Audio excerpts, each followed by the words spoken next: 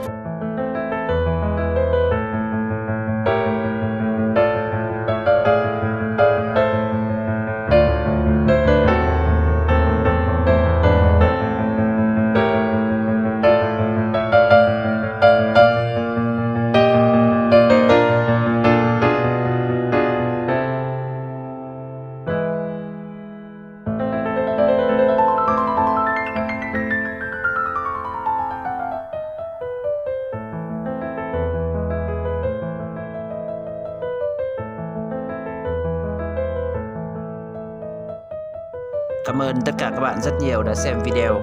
Bạn nào mới lần đầu tiên ghé thăm kênh, hãy ấn đăng ký và ấn chuông để thể nhận thêm những video mới hoàn toàn miễn phí dành cho tất cả các bạn.